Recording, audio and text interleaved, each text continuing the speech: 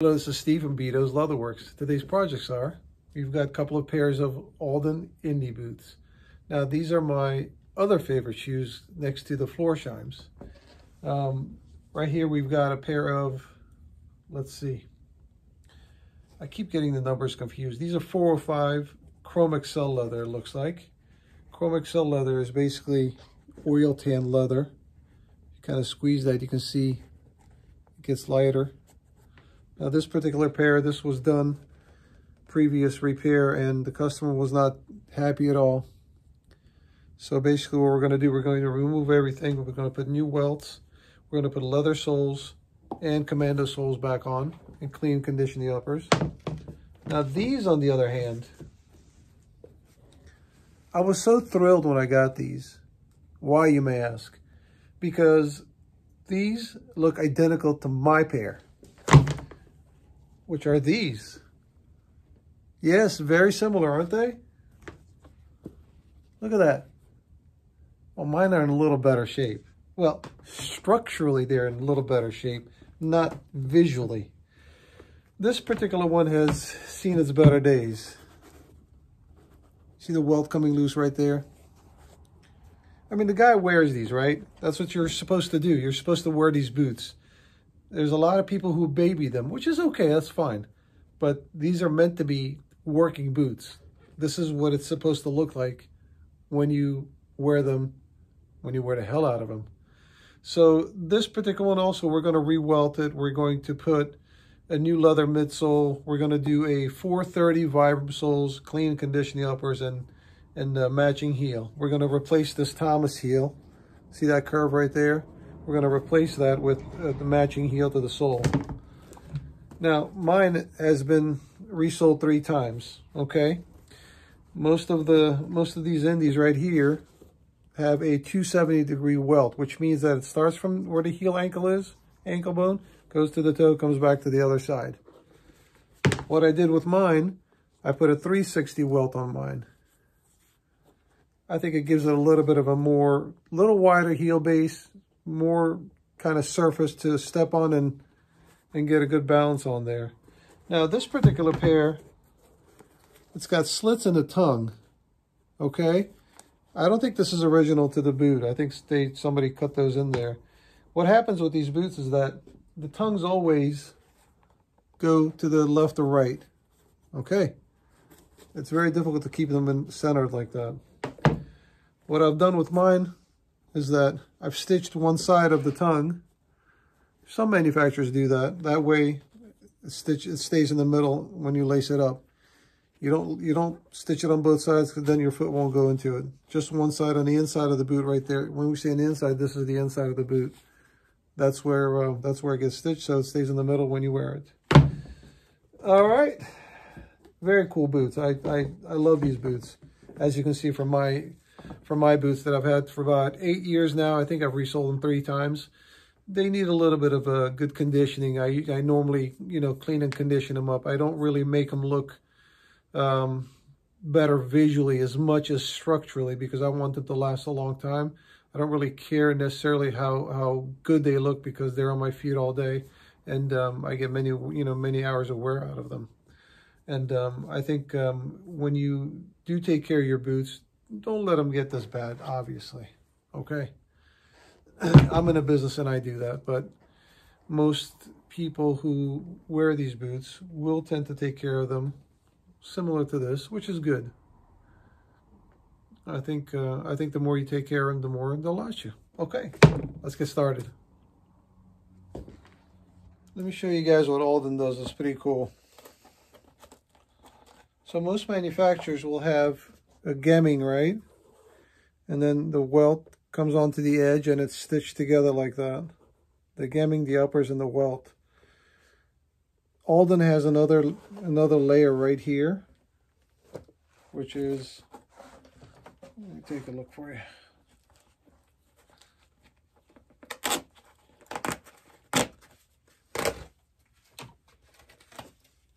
It's another layer of canvas, okay? Just like that, where it bridges the two sides together, okay? What happens with these gemming, sometimes, not all the time, after a while of hard use, the gemming comes loose with the footbed, from the footbed. Footbed is what you're stepping on. And if the gemming comes loose, this opens up and all of a sudden the uppers are a different size now. They've lost its shape.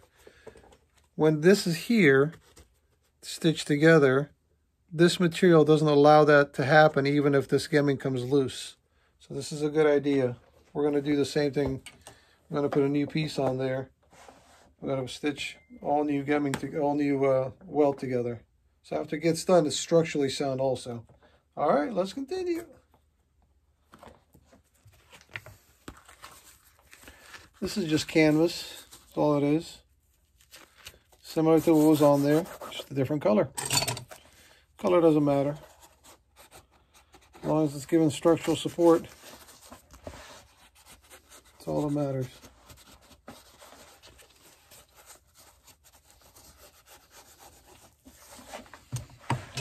Ah, put some relief cuts here.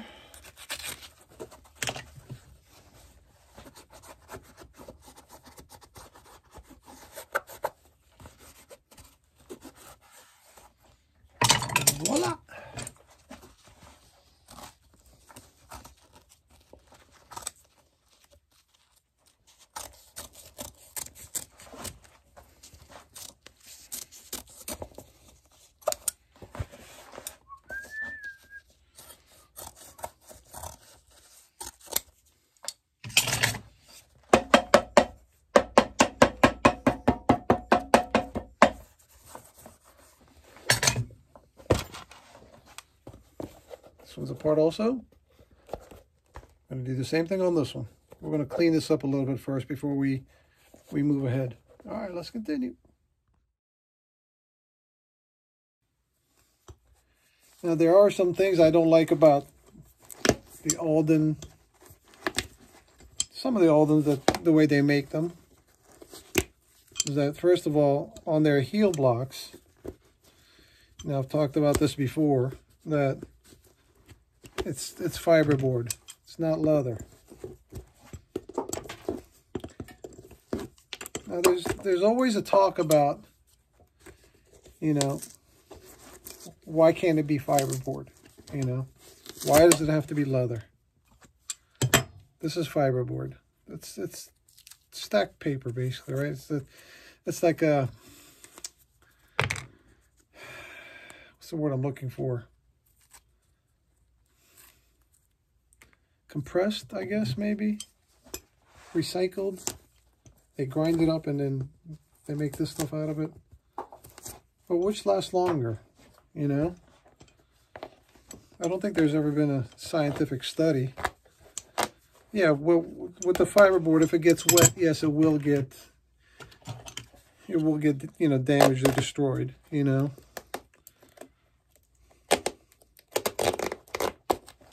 But that I don't like I don't like that. I mean, you know. I would prefer leather. Same goes with the inner soles, or I'm sorry, I'm sorry, midsoles. The midsole, this midsole is paper also. And the heel rand. The heel rand is basically a piece of um, piece of material on the, underneath the heel block I'll show you in a second. Let me get these nails out of the way.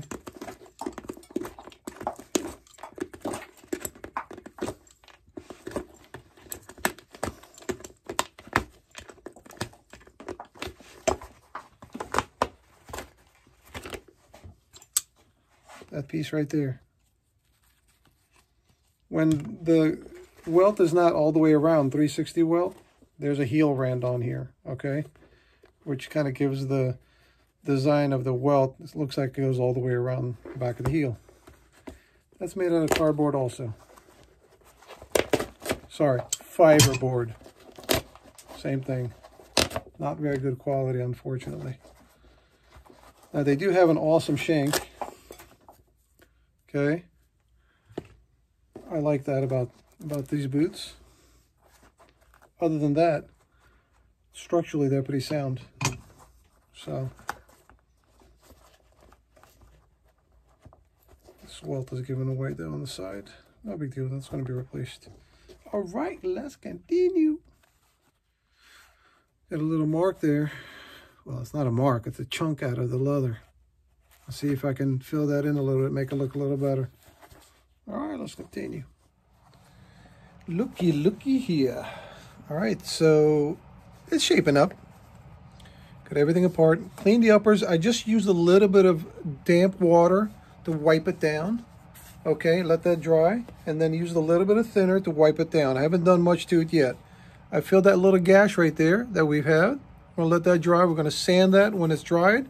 And we're gonna fill that in a couple times until we get a nice even, even surface. So we're getting there slowly but surely. I've got my my watch on today. Now, it is not a Rolex. People are like, oh man, such a nice Rolex you got there. You must be rich. It was a gift from a customer, and I'm proud to wear it. Um, I guess it resembles a Rolex, but it is not. It's it's kind of nice watch though. I got he gave me two of them. The other one has a red and an orange, what you call it, bezel there. Is that what they call it, bezel? I don't know. But I like my watch, whether it's fake or real, it doesn't matter. It's my watch, and I like it. I'm gonna wear it.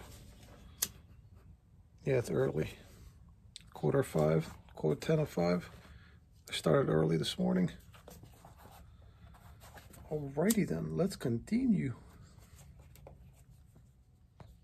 This is what I use.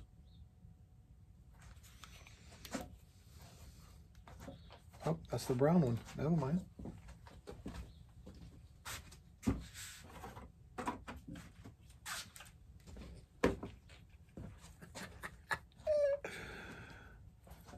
Sometimes it's too early in the morning to think. Just fill that in like that. And let it dry. Sometimes I get impatient and want to sand it. But no, you got to let it dry. If you want it to work, you got to let it dry. There's plenty to do while that's drying. All right, let's continue. All right, this is what we call a split welt, okay? Because it's split right here and comes up just like that. That little leather piece, that vertical piece goes against the uppers right there. Okay. Now there are lots of different welts. This is considered a flat welt. Okay.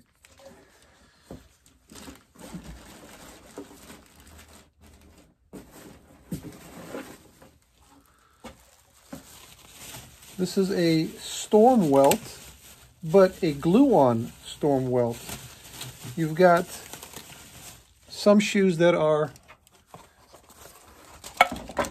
Okay, let's make a mess. Yes, more than usual. Let me grab the other one so you don't see the customer's name. This is basically a glued-on welt, okay? It's a glued-on construction where that piece of leather right there is glued on. Makes it look like it's like a Goodyear welt. This particular one, okay, See that hump right there, that, that round? That's what gives it, that's what it's called a storm welt. And these are glued onto the shoes. If it was a Goodyear welted shoe, it would be same type, but it would be stitched on to the shoe. So this one we're going to leave, we're going to leave the welt natural color. We're not going to put any color onto it. That's what the customer wants. On the other one, we're going to dye black. Same style. Everything's going to be the same same style on the other pair, but the other pair is going to have a black welt instead of a light color welt. And um, this will have white stitches on the welt. That one will have black, obviously. Okay, let's continue. All right, we've got a welt on. Okay. Now, so many, even manufacturers with this boot, they have such an issue with, this is the heel rand, okay? and you've got to basically bring it in with the welt right here. This connection right here, there's always an issue with these. Not always, a lot of issues with these at times that it's not very consistently, you know, it doesn't flow from the welt to the heel rand. I've overlapped it about an inch, okay? And once that comes together, once the soles come in, that's going to be a nice flow right there that you're not going to be able to tell that. There, well, you'll tell there's a seam there, but it'll be nice and smooth transition between one to the other. So once we um, once we got the cork in place, we'll put the shank, a heel rand, and then continue with our project. Let's continue.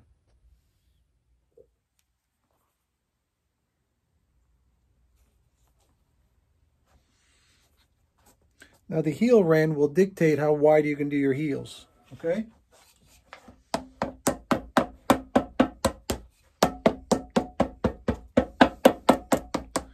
So you can't leave them too, you know, you can't leave them too big.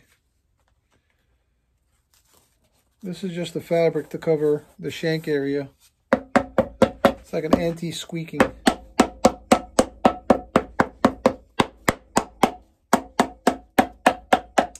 This isn't my hammer. Oh, this is another hammer I have. Just happen to grab it. It's the closest one to me. Here's my hammer.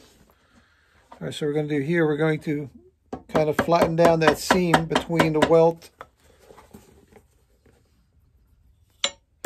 and the heel rand. See, nice transition between those two.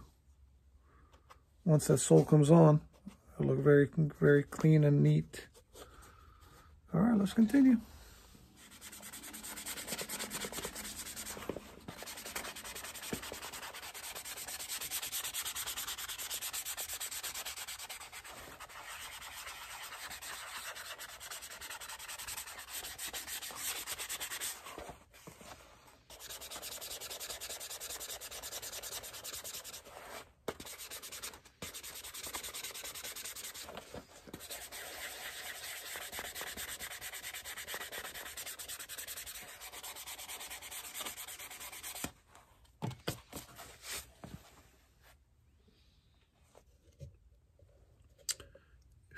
Black.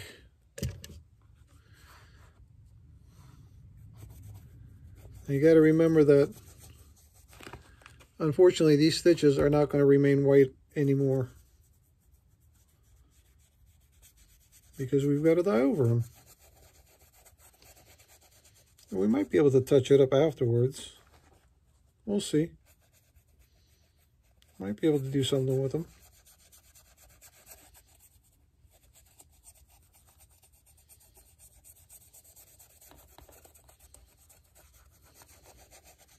I like to do this now before I put the welt on because you can get into the nooks and crannies right underneath that welt area there. When you put the welt on, you're not going to be able to get in into that deep. So it's a good idea to do all your dyeing at this stage. All right, let's continue. What time is it? Come on, what time is it? I mean, not the time time, but what time is it? It's hammer time.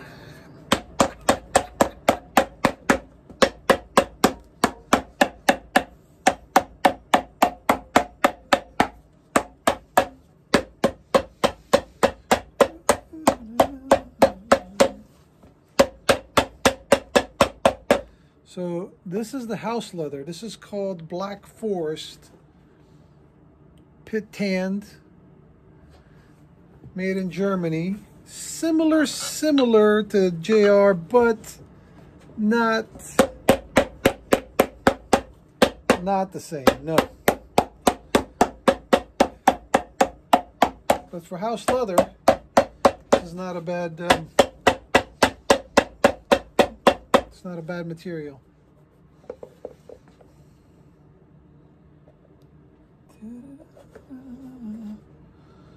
Since we're going to put a mini lug sole on top. We didn't want to waste the money on the JR option because it's going to be covered. it's going to be covered like that. All right, let's continue.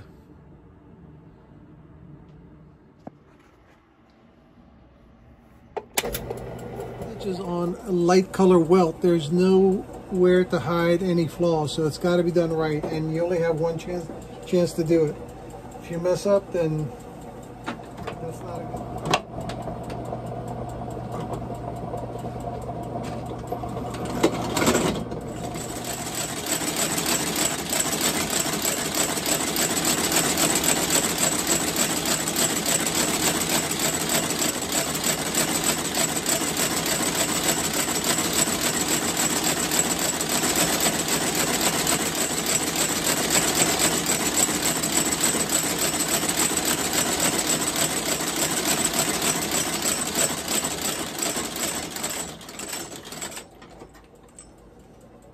it's always nerve-wracking to to stitch and not be able to see the other side.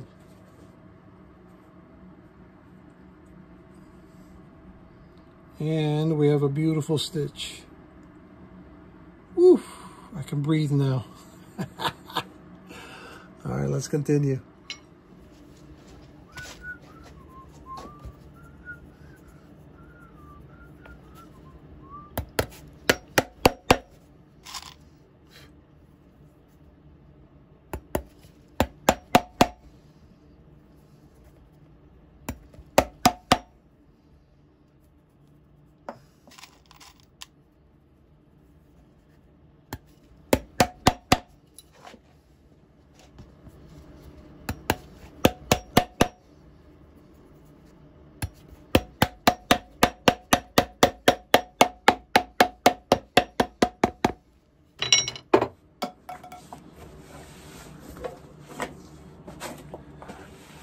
Now the other one didn't get a midsole because we did a house leather sole and it was getting the commando soles, which are the mini lugs.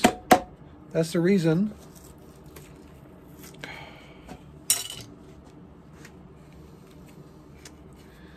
Almost forgot. That's the reason it didn't get midsoles.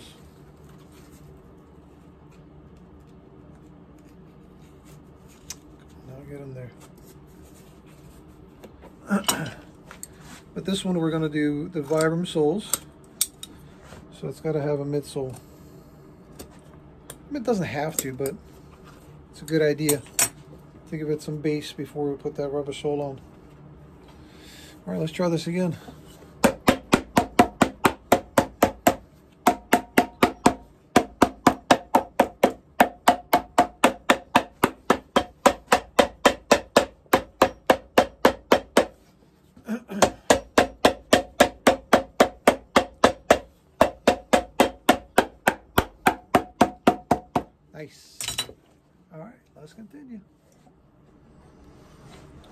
So this is the sole we're going to use for the black pair.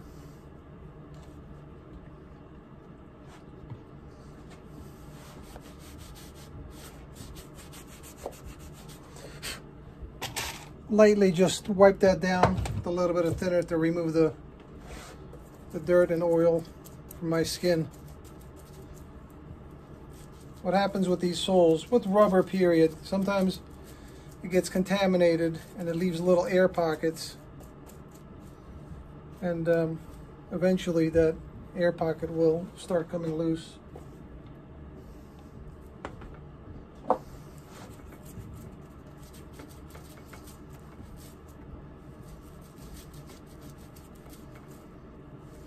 This is the Vibram 430 sole. It's a good sole. Now I was going to use the heel, the matching heel that comes with it. But unfortunately this was too small. So what I did was I put a leather heel base. I put a head leather heel base. Leather heel base and the top left on top. And this is what it looks like. This is what it looks like. Nice, nice stitching on the welt. I love that. Brand new, fresh stitching. likes it. So we're almost done with this project. Once we nail the heel, we'll trim it. The uppers are pretty much almost done, just need to be conditioned again.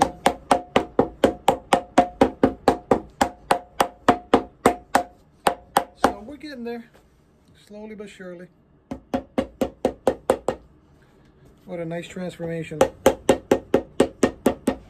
right, let's continue. All right, hammer time for the last time. Hammer time for the last time. This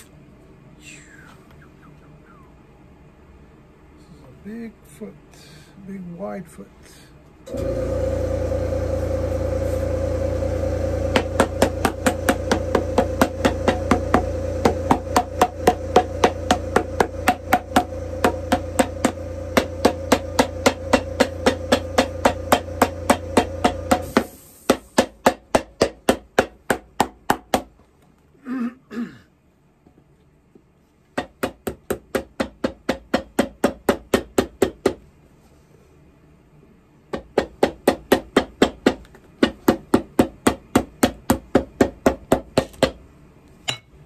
Let's continue.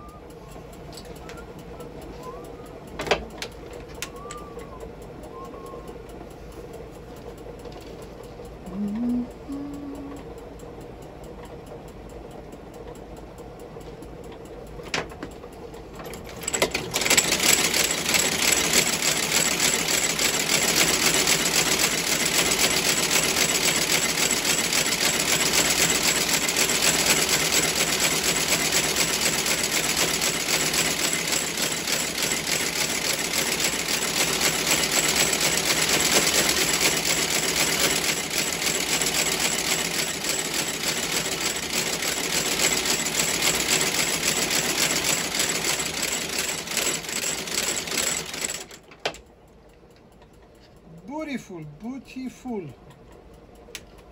Man. Look at that. Nice. I like it. Let's continue.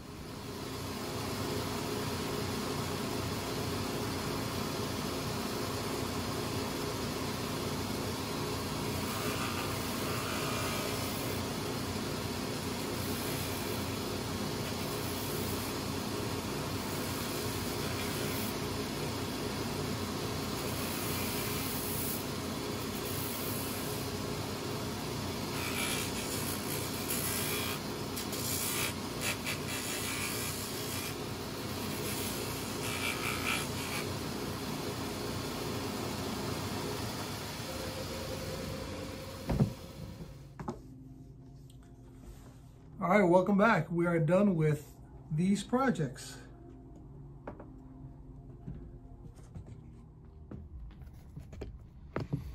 think they turned out pretty good.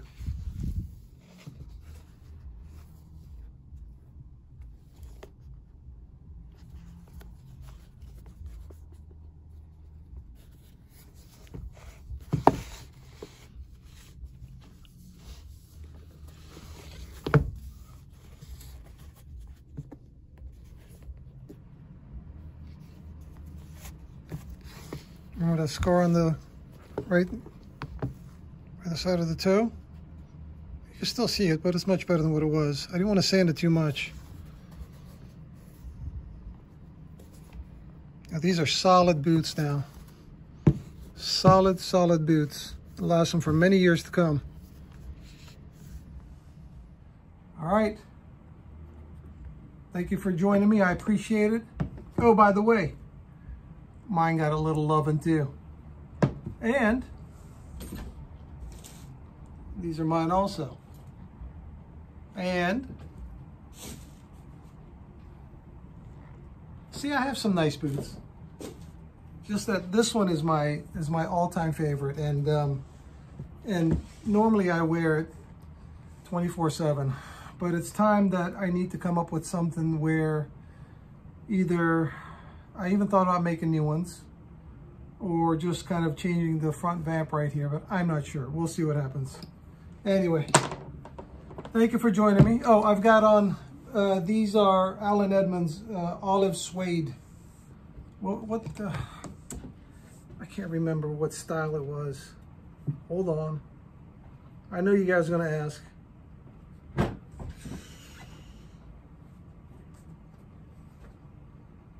Hamilton. Hamilton. Okay. This was uh, one of their trunk shows, I believe, that um, that I got these. All right, guys. Thank you very much for joining me. I appreciate it uh, very much. Uh, give me a thumbs up. Make a comment. Positive, negative. Mainly on the positive side would be cool. If you guys have any questions, give me um, give me an email. Give me an email. Send me an email.